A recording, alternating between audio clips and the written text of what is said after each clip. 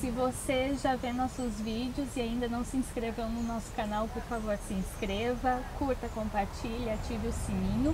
E hoje a gente vai falar com a Ana, que é psicóloga, sobre vícios. Se você tem algum vício ou se você tem algum familiar, alguém que você ama, que é viciado em algo, talvez esse vídeo faça sentido para você espero que você goste.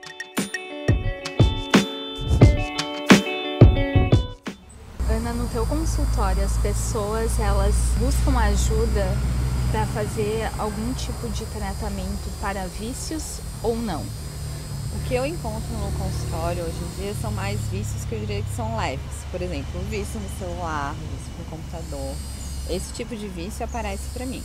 Agora, vícios como álcool e drogas não é uma coisa que vem para o meu consultório especificamente, não são coisas que eu trabalho mas eu trabalho muito com familiares, com pessoas que têm membros da família que têm vícios. Então é um acompanhamento que eu faço praticamente diário no consultório e onde a gente consegue perceber o quanto o vício pode não só fazer mal para a pessoa que tem o vício, mas mal para toda uma família, para todas as pessoas que convivem diariamente com uma pessoa que tem um vício. Mas você acha que é um padrão assim, o viciado uhum. ter uma dificuldade em buscar ajuda? É porque normalmente o que, que acontece? A pessoa, quando ela tem um vício, já é uma fuga da realidade. Porque assim, vamos usar como exemplo o álcool. Né? A pessoa, quando ela começa a beber, ela não está pensando, não, eu vou beber para me tornar uma viciada. Uhum. Quando ela começa a beber, é assim, ah, vou beber aqui na balada com os amigos. Ela começa a buscar isso como uma pequena fuga. E de repente ela vai gostando mais de ficar na fuga do que na realidade. Então começa a beber todo dia. E eu digo assim que tem que cuidar porque às vezes tem algumas pessoas que têm vícios e não se consideram, por exemplo, alcoólatras. Sim. Que são aquelas pessoas que bebem de sexta às seis da tarde até domingo, meia-noite e segunda estão prontas para trabalhar e por isso acham que isso não não não interfere na vida, né? E, e não é e não atrapalha ninguém, um não atrapalha ele, mas assim é um vício. A partir do momento que tu não consegue ficar um final de semana sem consumir o álcool, já se considera que isso é um vício. E você falou muito da fuga da realidade, uhum. né?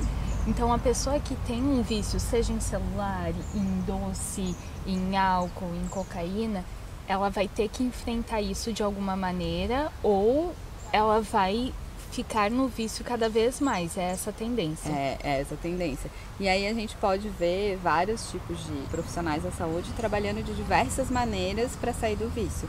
Porque às vezes eles pegam, tiram a pessoa de um vício mais pesado e trazem para o mais leve.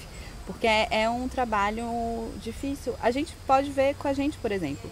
O nosso vício, por, eu tenho vício no celular, eu tento controlar, mas qualquer vício é difícil. Porque uhum. assim, quando a gente vê, a gente já está lá. É como se a gente é, ficasse no momento automático e quando tu vê, tu já está fazendo. Uhum. Né? Então, qualquer vício é difícil, mas não quer dizer que não tem tratamento, mas exige esforço. Exige a pessoa tem que querer, né? Ela não adianta ir o pai, o irmão, o namorado no consultório buscando ajuda se a pessoa não quer. Então a família eu acho que tem que estar também consciente de perguntar ao viciado se ele quer realmente mudar de vida. Talvez jogar aberto. Olha, Isso. estamos no nosso limite, não estamos mais aguentando, está de certa forma incomodando nossa qualidade de vida. Você quer mudar ou quer continuar assim? E às vezes é uma por mais que doa da família, por mais que, se, que machuque, talvez tenha que respeitar a decisão da pessoa de continuar no vício, né? É, normalmente o que acontece é justamente isso. A pessoa vem sabendo que tem um parente, alguém que é usuário, e ela vai se trabalhar. O que, que aquilo causa nela? Porque às vezes vai causar repulsa, vai causar raiva, tem um monte de sentimento negativo em relação à pessoa. E aí a primeira coisa é dissociar. A pessoa é uma coisa, o vício dela é outra. Uhum. E é difícil, é muito fácil às vezes quando está no consultório falar, ó, oh, tu entendeu? Entendi. A partir do momento que a pessoa pisa em casa e olha aquela pessoa naquele estado, volta tudo. Então é devagar que a gente consegue esse resultado. É ter uma paciência, é, né? E persistência. Uhum. E o que, que a gente poderia falar para alguém que está percebendo que é viciado em algo ou alguém que tem viciados na família? Eu acho que assim, se alguém por acaso tem dúvida se tem um vício ou não, a primeira coisa é checar se alguém da família ou algum amigo em algum momento já chegou e já falou, olha, você está bebendo demais, olha, tu está fumando muita maconha. Né? Se alguém em volta já chegou e já deu esses sinais, é a primeira coisa. né? E pro familiar, é assim, se você não tá aguentando, tem hoje em dia milhares de grupos. E os grupos eu sempre indico que são muito importantes, muitas vezes para as famílias. Porque assim, tu acha que aquilo só está acontecendo na tua casa, no teu ambiente, que aquelas histórias que tu está escutando são só contigo. A partir do momento que tu entra no grupo e começa a ver o discurso de todas as pessoas, tu começa a ver que existe mais pessoas assim. Que às vezes aquela mentira que tu está ouvindo em casa, mais pessoas escutam. Né? Recentemente eu tive um caso onde eu estava trabalhando justamente um vício bem pesado e, e ela realmente acreditava que ele ia mudar. E ela começou a frequentar os grupos e começou a frequentar com ele.